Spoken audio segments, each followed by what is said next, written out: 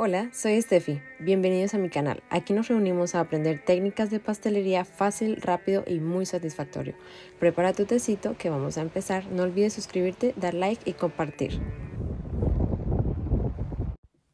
Importante, queremos una harina de calidad que tenga 11, 12, 13% de proteína, o sea, gluten. Esta que yo estoy usando es de 13% de proteína y esto es lo que hace que se formen estas cadenas fuertes lo que nos da un resultado de una masa elástica, así como se puede ver en, esta imagen. Entonces es exactamente lo que queremos eh, llegar a lograr.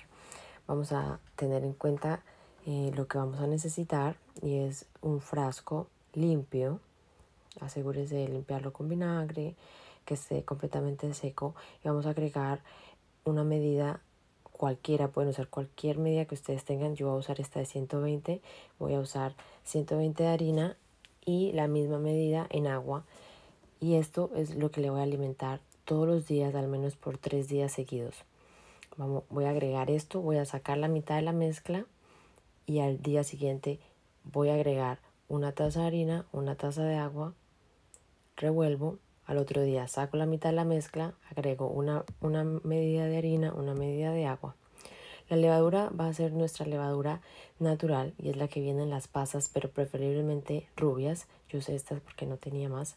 Así que pasas rubias que están llenitas de levadura natural.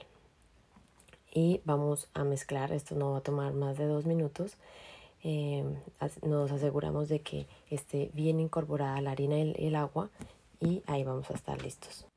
Nos vamos a asegurar de que el lugar donde la vamos a guardar es oscuro eh, y completamente seco.